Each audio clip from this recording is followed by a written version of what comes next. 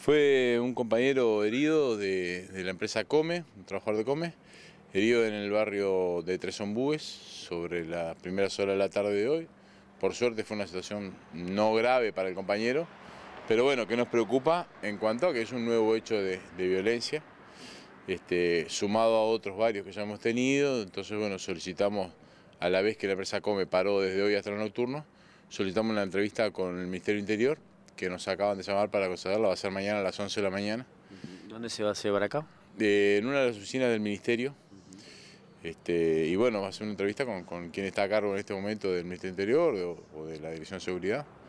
Y le van a plantear la problemática que, es nuevamente la misma más o menos, la reiteración de las rapiñas y la violencia algunas veces.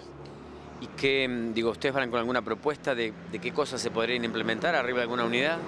Nosotros nos preocupa en este momento puntualmente que el servicio bus seguro está un poco desguarnecido de gente. Tuvimos una entrevista el jueves sobre eso que concurrió la Dirección de Seguridad. Se nos prometió que iba a estar otra vez con, el personal necesario, con el personal suficiente para poder atenderlo. Y estaba, estábamos trabajando en eso cuando bueno, pasa este hecho que, de alguna manera precipita la respuesta que necesitamos del Ministerio. ¿Cuál es el estado del trabajador en este momento? ¿Cómo se encuentra? Está bien, por suerte está bien, está absolutamente fuera de peligro, las heridas no, revistieron la, gravedad que, podría haber sido. ¿Es internado? Está internado en Casa de Alicia.